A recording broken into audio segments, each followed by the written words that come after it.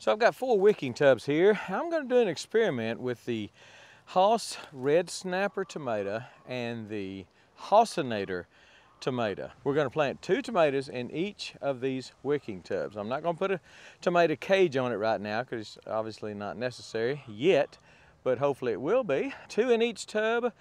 I'm going to fertilize them exactly the same, uh, lime the containers exactly the same, uh, red snapper is one of my favorites, so it's going to be hard to beat. But we're going to give it a shot this year. Hossinator versus red snapper, part one. So first of all, I came through here with this little tool. It's kind of a weird shaped little tool.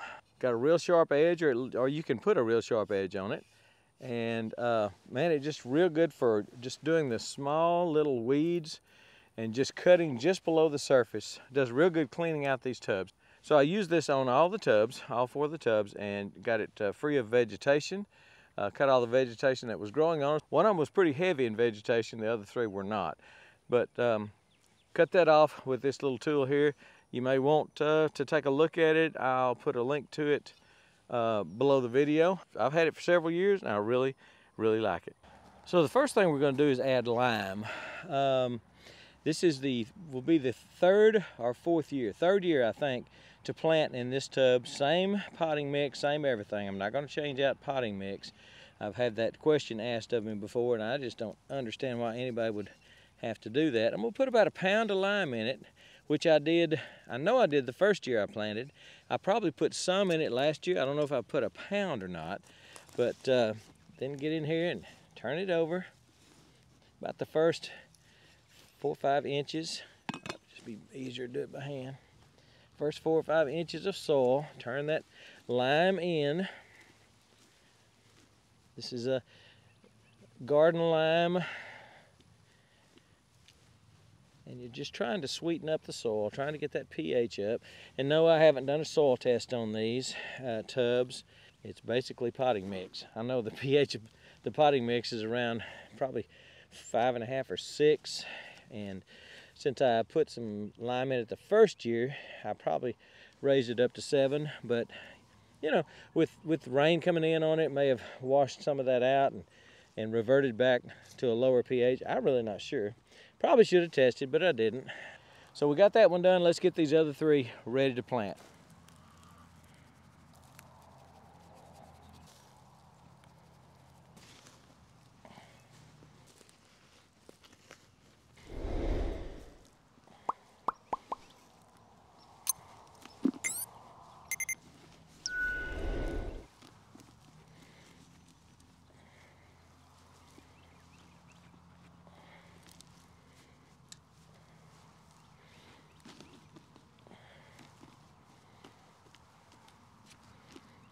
And then I'm gonna come in here on the side like I do on all my tubs.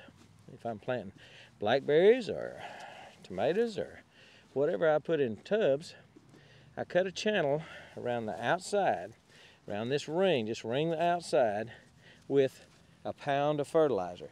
Now these are tomatoes, so they need that phosphorus, that middle number, uh, to give them plenty of uh, uh phosphorus for blooms and blooms make your tomatoes. So I'm gonna put a pound of 10, 20, 10 in there. And I know some of you say you can't find 10, 20, 10, and that certainly may be the case. What I'm gonna do next week is show you how to make uh, 10, 20, 10. So uh, hopefully I'll get that video up next week. You can take a look at that. But right now I'm gonna put a pound of store-bought 10, 20, 10 in here. I weighed it up and it's about um, a, a pound is about one and a quarter cups a pound of this fertilizer. Now yours may be a little different, I don't know, but a pound of this 10-20-10 is about one and a quarter cups. Put it in there, cover it up,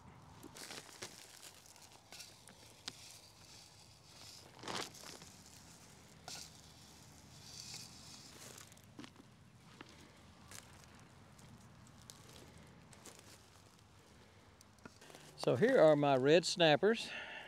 I'm taking them straight out of that Hoss tray. You can see they're a pretty small plug, but they do great just right out of the tray. I get my little hori hori knife. My tomato cage comes almost all the way to the outside rim.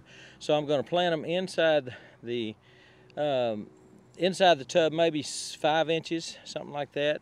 So I'll have plenty of room to set the tomato cage on top when they get um, a little bit bigger. So we'll set it, we'll set tomato about five to six inches from the outside. Gonna put just a dab of Epsom salt in the hole. That might be a teaspoon maybe. Normally I do more than that, but I don't have that much. I need to go buy some more. So I'll put that down the hole. And then these, uh, these tomatoes are gonna go deep. They're pretty tall. They're almost a foot tall. So we're gonna get them down in there pretty doggone deep. And then close the dirt up around. I can go deeper than that. Let's go deeper than that. Let's go deeper than that. There you go.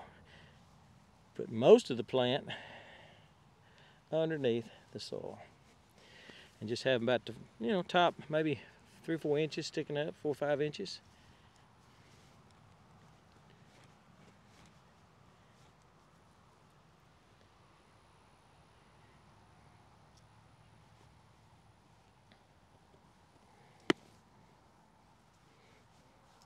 Pack it down around the around it good so the roots will seal the soil will seal up around the roots real good.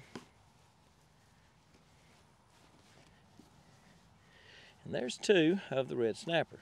Again, these are red snappers, so it's still part of the experiment. Not really changing that much. Dig that hole. A little bit of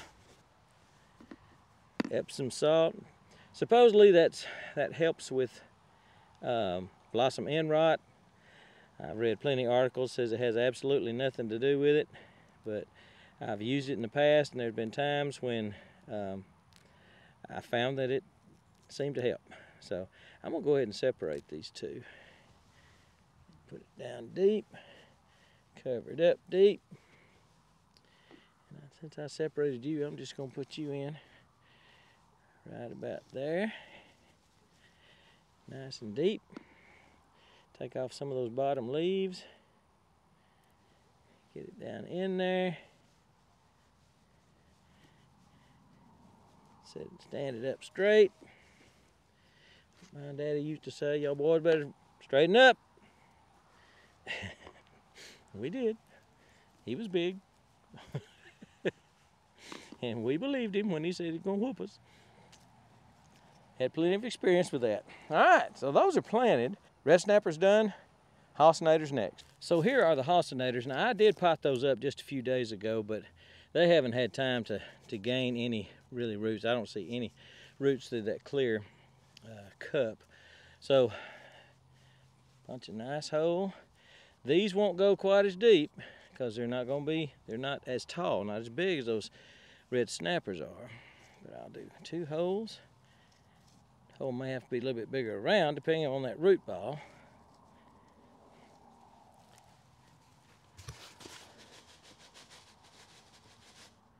Little bit of Epsom salt. We'll dump it out, but it's not going to be much more than just that. Well, it's holding together pretty good. It's just, it's basically that plug that was on the red snapper plus maybe a day or two of root growth, but not much. So I'm gonna put that dude down in there.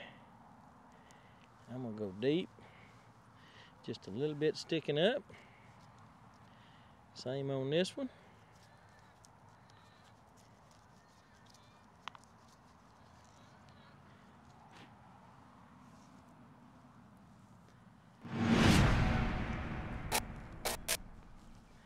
Down in there, deep. Looks good, good, good. These are determinate tomato, if I remember right. So the cage won't have to be very large. It can, I could have a little short cage. A little e-salt.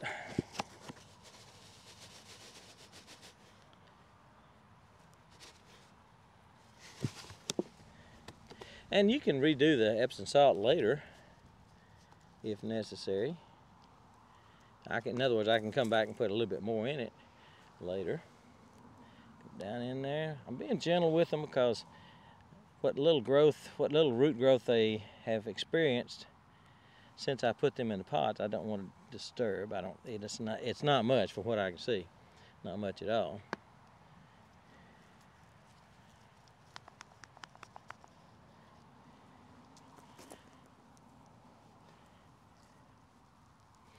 Get it down in there. Squash it in good. Keep my cups. Need those next year. They say Hoss on it, so if I like the Hossinator, I'll just reuse them next year. All right, gonna come in here and water them gently. I really like this watering wand from Hoss. It's a Dramm, real gentle. Uh, I use it for watering the blackberries from the top if I if I'm fertilizing. You want that dirt that you packed around there to really seal around those roots so there's no air gaps. And air gaps could mean the roots dry out. You don't want that. I don't have my drip system hooked up quite yet this year as far as the timer and the uh, pressure regulator and all that stuff. So I'll water down the top, down the hole until I see it coming out the weep hole. So uh, that's it. We've got them done. Uh, I've still got a bunch more to plant.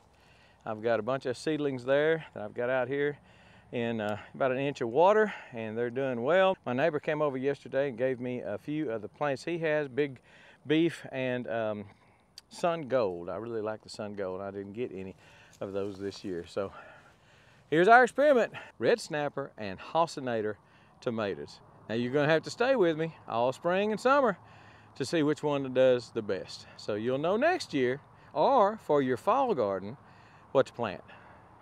Red snapper or Hossinator. The game is on. And we're gone.